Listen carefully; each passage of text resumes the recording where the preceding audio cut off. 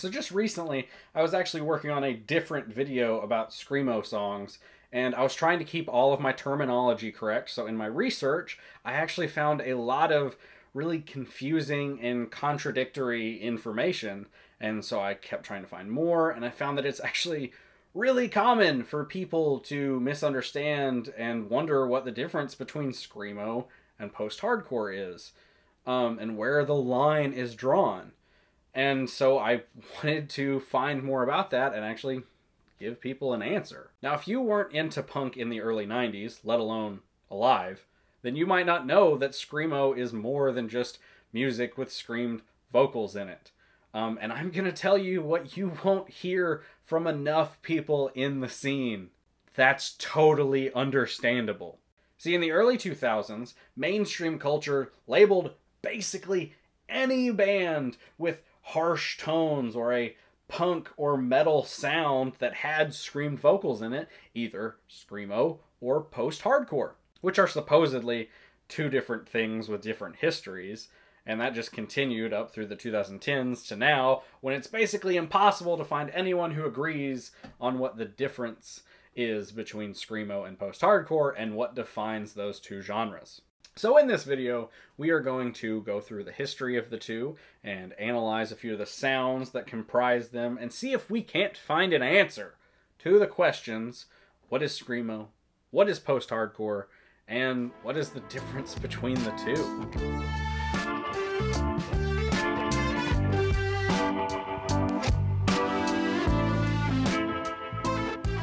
Grew up in the early 2000s and I listened to bands like Underoath and Norma Jean and all of the big screamo bands that were in Hot Topic at that time. And even though my friends and I listened to this stuff, we didn't know the history of punk we just called it all screamo or hardcore or HXC because that's what we heard it referred to as. I didn't know until my later high school years what hardcore and metalcore and deathcore and emo and all the different cores were and that when people said screamo, they usually had no idea what they were talking about.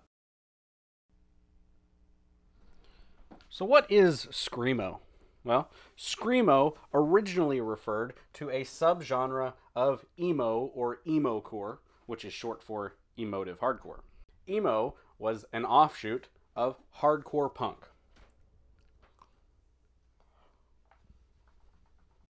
Hardcore punk started in the early 80s. It was characterized by aggressive, angry, fast sounds. Um, it often had very angry, anti establishment lyrics, and it was really more than just music. Uh, hardcore was also a, a way of living, it was very much a walk the walk, talk the talk kind of thing. A few bands that characterized hardcore punk were Black Flag, Minor Threat, Germs, Bad Brains, and many, many other great bands.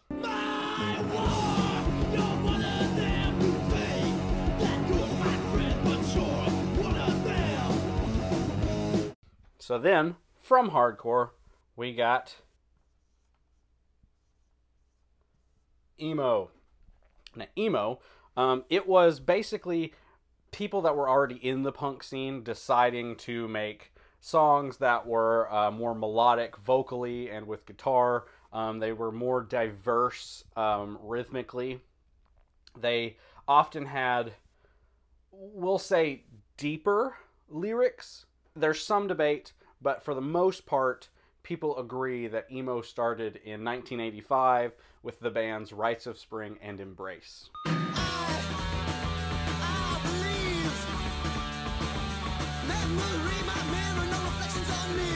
So then, from emo, we get, of course,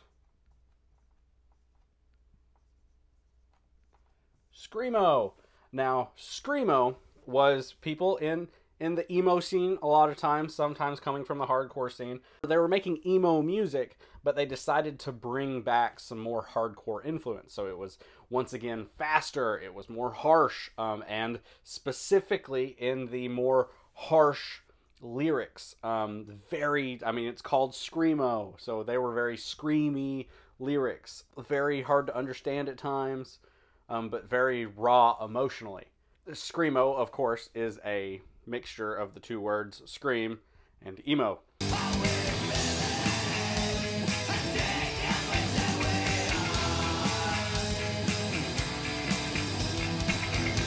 So then, of course, what is post hardcore? And for post hardcore, we're going to use blue because I like blue.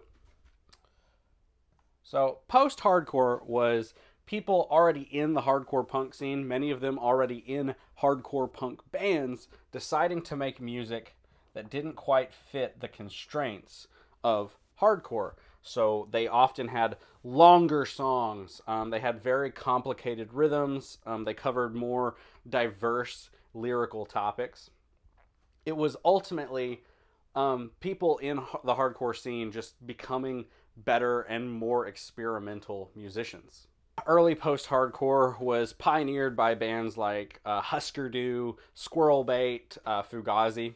A lot of people would say that they pretty well kind of just walk that line of hardcore and post hardcore.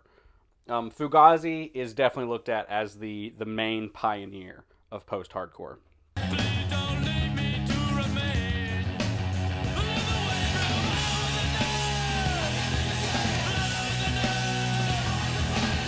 Now, I have heard many people refer to post hardcore bands as prog or progressive punk because of how experimental it is.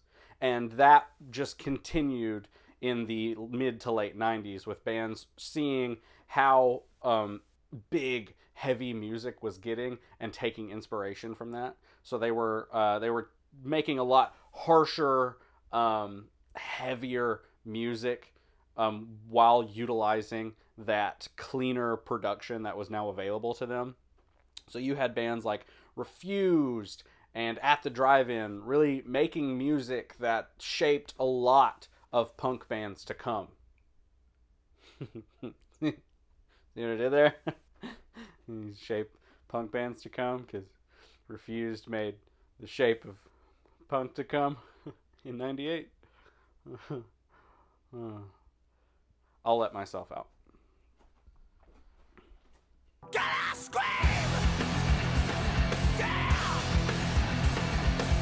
after this, we get to the early 2000s, which is when Screamo and post hardcore as terms kind of got mixed, and no one knew what the difference was anymore, and that got us to where we are now. So let's compare some of the sounds that we've got so far. It's melodic, but this is musical, okay?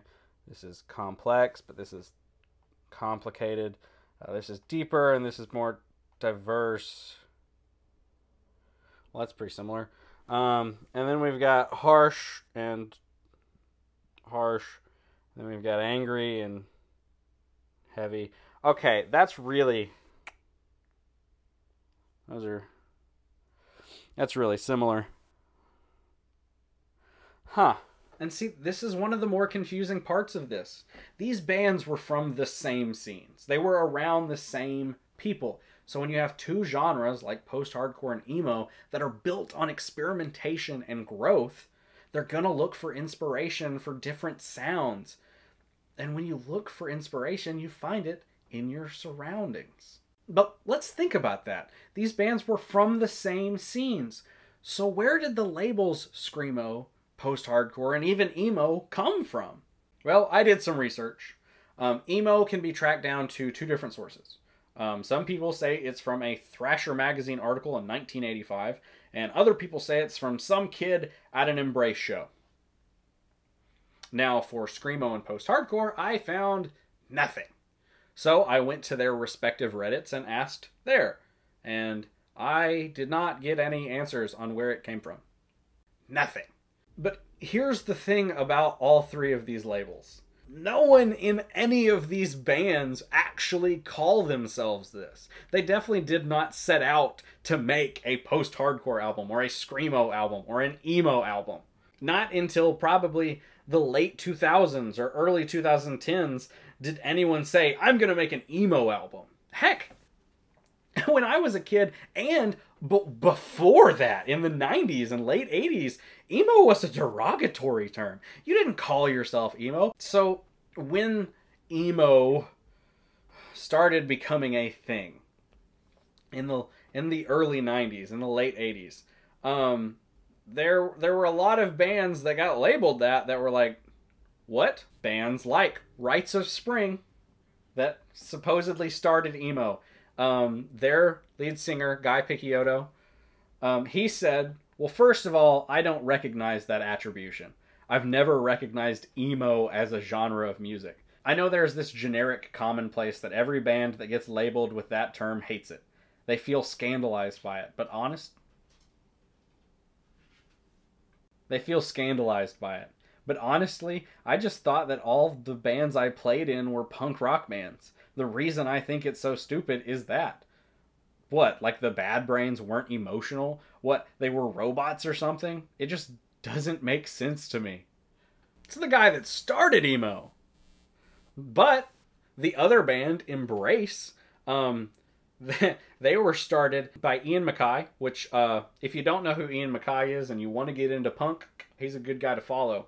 He started Embrace, and he said this Emo core must be the stupidest fucking thing I've ever heard in my entire life. But just in case you're wondering, I read in my Thrasher the other day that in fact, what my band, along with other bands in the city, was playing was emo core, emotional hardcore, as if hardcore wasn't emotional to begin with. Uh, something also interesting about these two guys, Ian MacKaye, Guy Picciotto. So, Guy Picciotto started Rites of Spring because he was inspired by Minor Threat. Minor Threat's lead singer was Ian MacKaye. So, Rites of Spring starts. Ian MacKaye became a fan of them and started Embrace. The two starting points of emo, supposedly. And then after those two bands, Ian MacKaye and Guy Picciotto got in a band together called Fugazi, which is supposedly the birthplace of post hardcore, or at least the guys who mainstreamed post hardcore. And neither of them know why anyone calls them that. They just make punk rock. That's got to tell you something. There's actually uh, more to this. Chris Taylor, the lead vocalist for Page 99, one of the most important, quote, Screamo bands. Anytime you bring up real Screamo, someone's going to be like, Page 99, which honestly, they're one of my favorites of the uh, the real Screamo bands. They're really, really good. Very influential sound.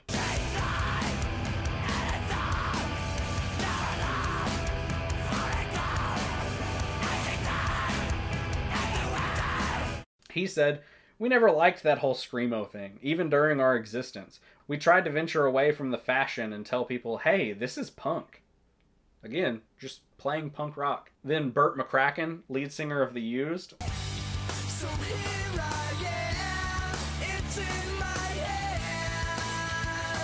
he said, Screamo is merely a term for record companies to sell records and for record stores to categorize them. So that's two very famous screamo bands, especially the Used. They were huge. Um, also, even further, for you people who are like, real emo was Fall Out Boy, My Chemical Romance, and Panic at the Disco. Pete Wentz said, No, our band never was into being emo or being called emo. It was literally never our thing. We liked punk rock, metal, and hip hop. So there you have it. Um, and like this is not an unknown thing. Everyone knows that bands labeled as emo, especially in the 90s, did not like being called emo. That plus the fact that there's no real discerning difference between these two genres shows how little it actually matters what you label music. Um like everyone in post-hardcore and screamo has different definitions of what bands are screamo and post-hardcore. If you go on Wikipedia, which I know Wikipedia, if you go on Wikipedia and look at post-hardcore, screamo, and emo, a lot of the same bands show up. And that's fine. Because bands make a variety of music. They make a variety of sounds that are going to fall under different genres. Because genre ultimately doesn't matter. The only thing that matters with genre is how you use it. It's however it makes it easier for you to categorize music and communicate what music sounds like with your friends and with people that are trying to talk to you about music. So it really makes no sense for people to fight over what real screamo is and what real post-hardcore is. It doesn't matter at all, I promise you. Don't worry about what bands are real whatever you think they are just listen to music. So I w- I don't want to make this video too long of me just ranting about genre.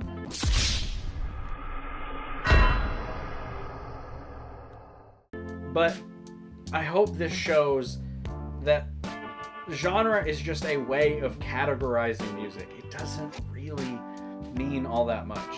The only thing that matters with music is listening to it, how you listen to it, who you listen to it with that's that's all that matters. Music was made to enjoy. All of the bands I talked about in this video, I love. They're all really good bands, I promise you.